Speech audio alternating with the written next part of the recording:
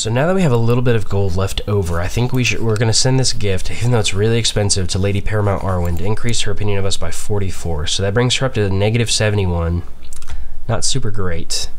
Um, but yeah. That's currently the situation we're at.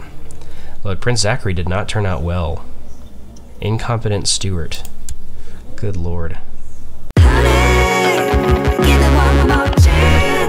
Two more years before they can marry. Matrilineal, so, matrilineally, so he'll come to our court. That'll be good. Keep him close. Uh, I'm not going to command this guy to end his war. How's he doing in this war? He is losing a little bit. I can go into high... Ooh, is, is there a plot to kill me? Yeah, look at that. Lionel Spevins. End your plot, my friend. No? Okay. Why can't I arrest him? That's weird.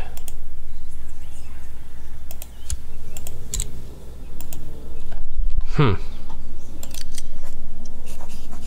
You would think I would have, you know, righteous cause to imprison him, I guess because he's not a direct vassal of mine.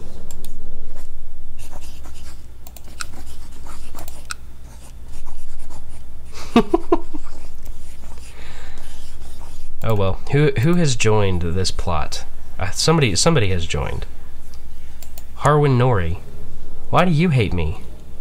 Oh, okay. You're friends with her too.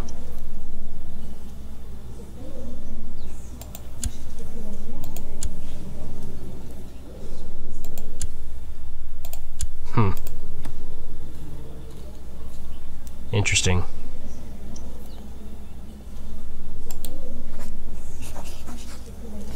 I can ask him to leave court. Speaking of which, we do need to go through our court and purge. We need to go through and, and purge our court of all of the the people who don't have congenital traits. The more research I've been doing on this, the more effective I think we're going to be of you know who stays in court, who doesn't. Um, so yeah, I think it's a good time for us to go through and, and purge and see who can stick around and who needs to GTFO.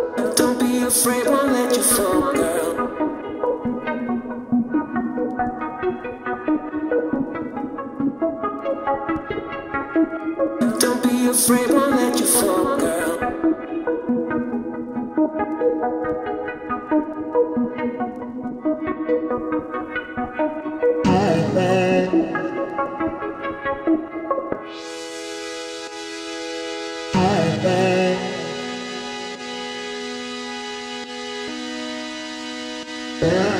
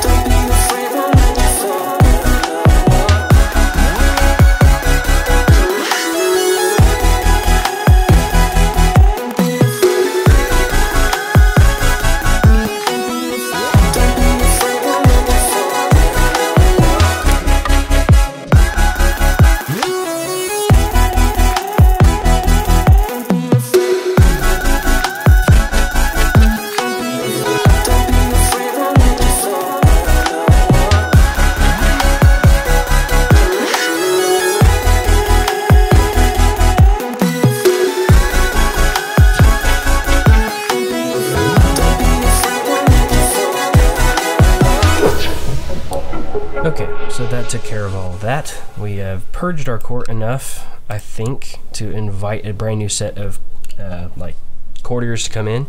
Those will start flooding in here in just a little bit. I'll marry them all together and hopefully they produce a bunch of babies and all that kind of stuff. Um, hopefully we get some good ones out of this one. Uh, like I said, some of the research that I'm doing, I'm actually working on a video that kind of gives a tutorial on all of this and uh, how uh, how traits are inherited in CK2 and how to you know ensure that you have the highest chance of having the most successful uh, quote unquote breeding program in in the game. So um, I'm not going to give away a lot of information on that, but the more research I'm doing, uh, the more I'm able to kind of refine what we're doing here in the woods, so that helps. Um, and the reason I'm not sending any men to the wall is because this war is actually against the tyranny of Commander Esso the Mutil Mutilator, um, who it's the second one. People don't like him, so. I mean, I'm not surprised he's in this war in the first place. I hate it that he's the, you know, the Lord Commander, and they're fighting wars against him, and so he calls on the realm to come help him. Um, I can't deny it, or else my vassals hate me for denying a call for war from the Night's Watch. Uh, but he's also up against a new King Beyond the Wall, by the looks of it. Uh, let's look at realms. Yeah, it's not a unified Kingdom Beyond the Wall, but it is a King Beyond the Wall nonetheless. So, uh, Castle Black is currently sieged down by Commander Denyo. Uh, that's the guy he's fighting against, if I'm not mistaken. Yeah. So Castle Black has been sieged down. Uh, the Wildlings are right over here, and they're currently fighting. It's 6% war score in favor of them. Honestly, uh, unless I can fight against them, there's no reason to send men north of the wall or to the wall. And if the wall falls, like that sucks for the north, but honestly, we're okay, if that makes any sense. Let's go back to this view, so hopefully we can get a good look. How many men can I raise up from the Stormlands? 4,000? That sucks.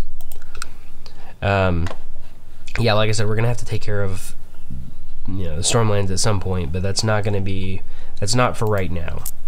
For right now, we're, we're focusing on making, you know, making the Kingdom of the Woods a great place, but also a, um, you know, a nice uh, location for all of our lords and lady paramounts uh, to get along with us. I think I think that helps.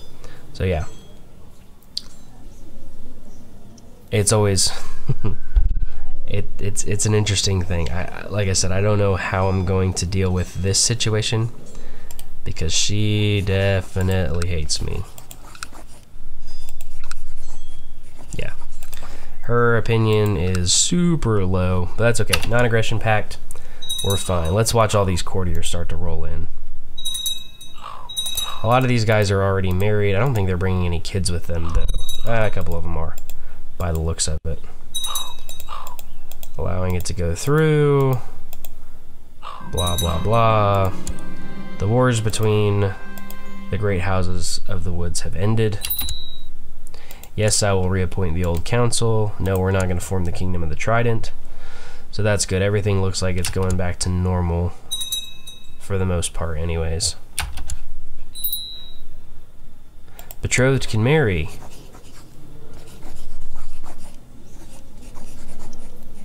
I don't think I set this up. I think think these people came to our court.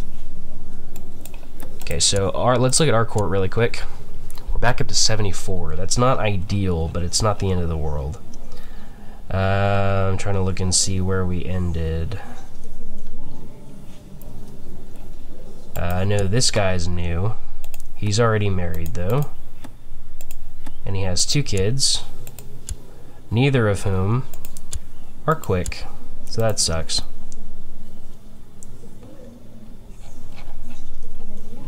Let's see, who else is new?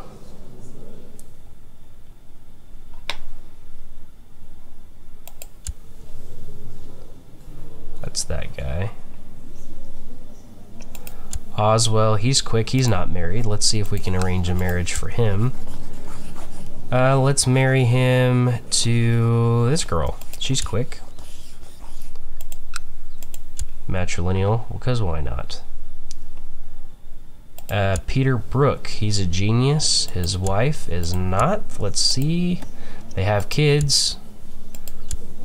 One of them is a genius. Good. Who can I betroth you to? This is pretty much my process. Just if you're if you're new to all of this, this is pretty much the process that we go about doing these things. Um, let's let's betroth her to Atreus. Let's get some some genius up in House Bear. Okay. Let's go down. Where are they? That's her right there. Jonathor. He's 17. He's a genius. Let's arrange a, maybe a marriage for him. Uh, what about a betrothal? So let's arrange a betrothal instead. Who do we have? Nobody with congenital traits. Okay. Do we have any unmarried female rulers? Do. Raella Mudd. She's pregnant, although she's unmarried. Oh, she is married.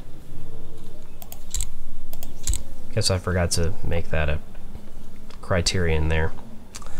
Uh, let's see. This girl could use a marriage.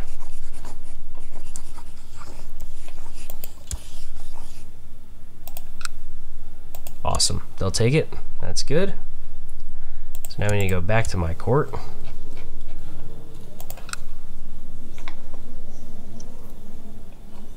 Like I said, this is pretty much my, my process. I go through and dish out. These guys have any kids? They don't yet. She is pregnant though, so we'll see what comes from that. Let's see. She's married. That's good. Oh, I just set that up. Quentin. Quick, unmarried. Let's arrange a marriage. Uh, let's go back over here. Let's see who else we have.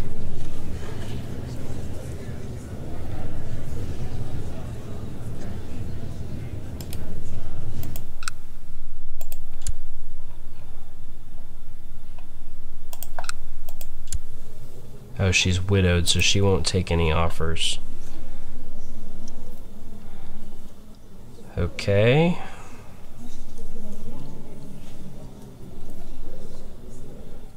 And he's a little bit on the older side.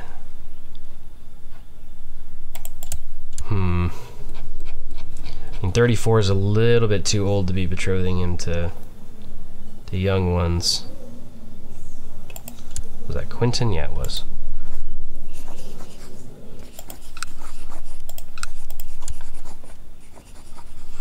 Let's do between him and Jenna Barrows.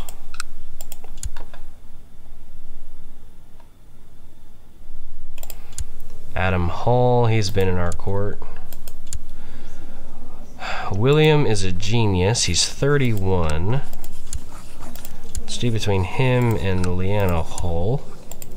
And then Taryn is a genius, he's 29.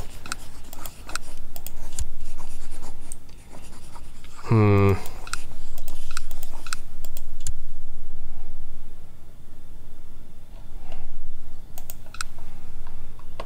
Don't know what to do with him.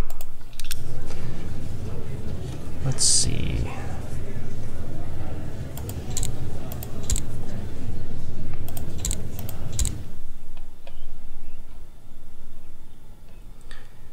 Who needs to be married? This is always the hardest part is finding these correct, you know, avenues to go in.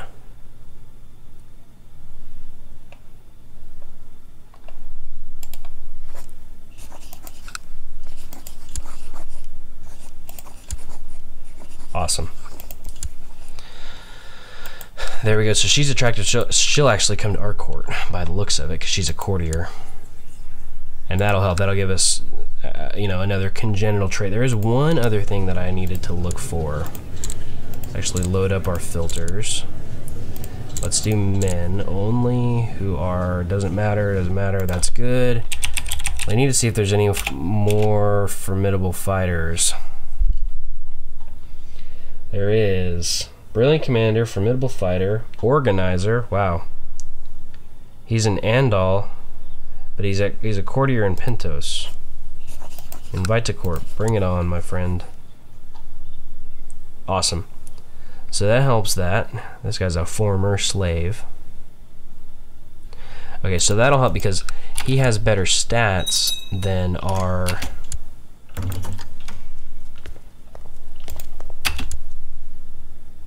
He has better stats than our current. Awesome. Uh-oh. Wants to replace and become regent. Yikes. Tristan Snowbear.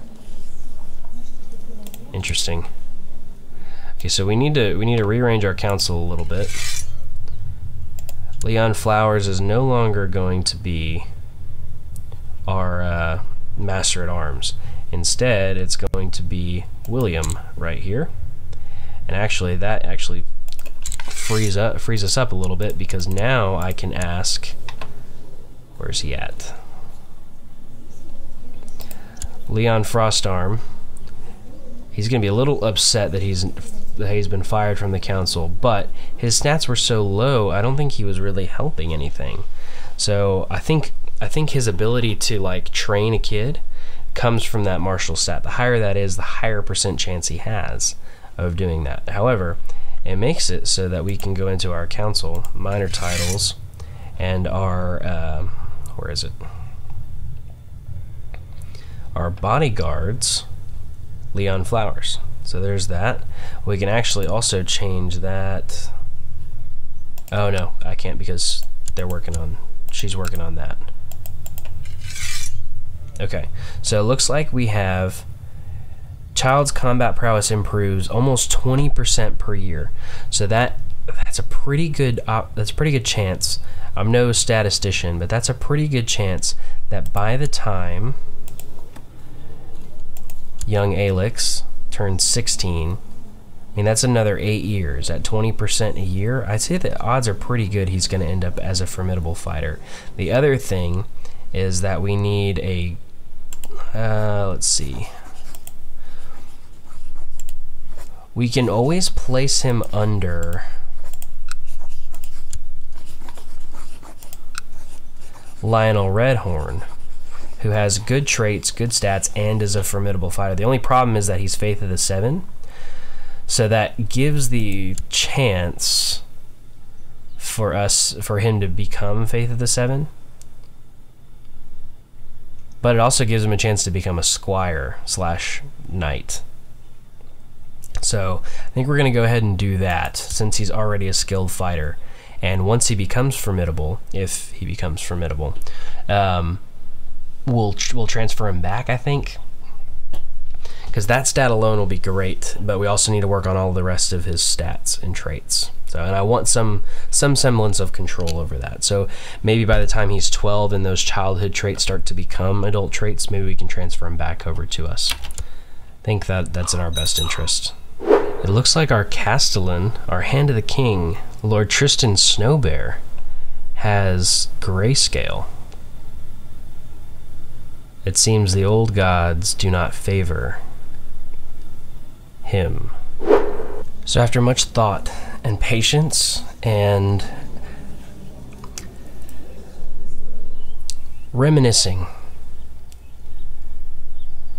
the High King Vaelor has approached his bastard son, Ned, and uh, has explained the situation to him. You see, years ago, when Vaelor was uh, a young man and handed the king in Bear Hall, a witch by the name of Amara the Wicked was um, set up on the God's Eye, or the Bear Eye, in the middle of the lake. A holy place filled with weirwood trees. She offered to teach young Vaelor how to hone his skills in exchange for his uh, his his seed, we'll say. And uh, much to his chagrin, Vaelor neither learned how to uh, how to use his powers more effectively, and also he ended up with a bastard son, Ned Rivers. So Ned is uh, is now the revealed full bastard son of the High King Vaelor, and uh, he has a role to play in the near future. He has a role to play, but first there's more to be revealed. This was but the first step on a long journey to understanding Ned's true purpose. Just doing a little quick check in on Prince Alix. Still 8 years old, but he is already willful, which is fantastic. Ambitious, brave, authoritative. Fantastic. Um, and he's a squire now, too. So that's good. That now, at this point, he could go back and once he's an adult he can buy a knighthood or you know he can uh, find somebody who can knight him. So that's great.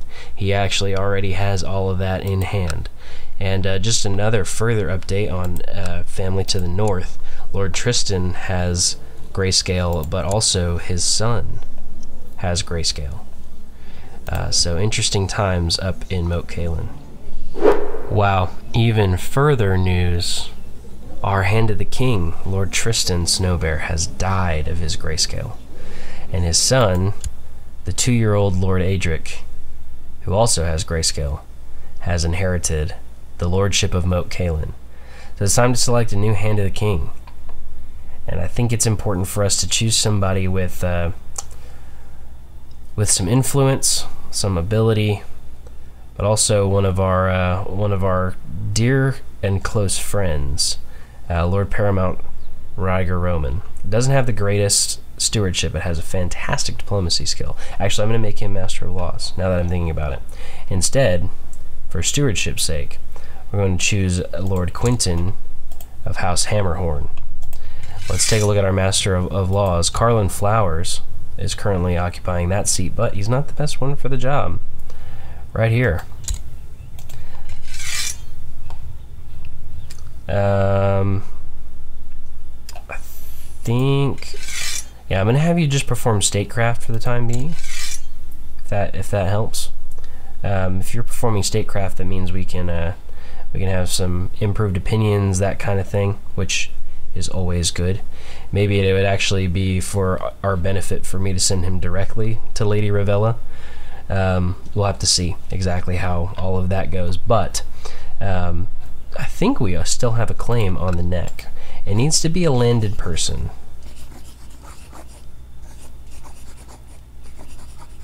Uh, we're currently allied in that war, so we can't declare war on him. I can't even see what claims I have, really. It'd have to be the high, like the High Lordship of the Neck. Hmm. We'll have to see. Oh, hold on. That actually gave me a list. Okay, so this actually allows me to see the list of what I, I can declare war, even though I can't necessarily declaim it. Uh, we can actually de jure claim this area.